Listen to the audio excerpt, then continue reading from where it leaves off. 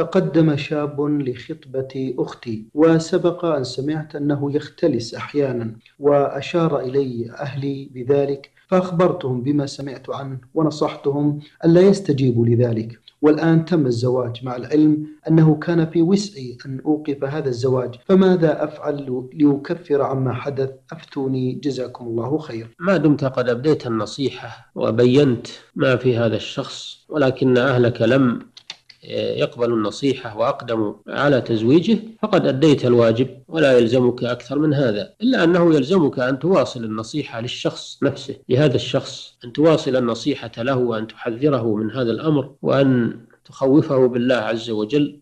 هذا الذي يسعك. وإذا أمكن أن تؤثر على أهلك بمثلا طلب مفارقة آه، ابنتكم منه إذا أصر على هذا العمل السيء وعلى السرقة والاختلاس إذا أمكن أن تؤثر على أهلك وأن تطالبوا بمفارقة هذا الرجل السيء لبنتكم فهذا شيء طيب. نعم فعليك أن تبذل ما تستطيع والله تعالى أعلم.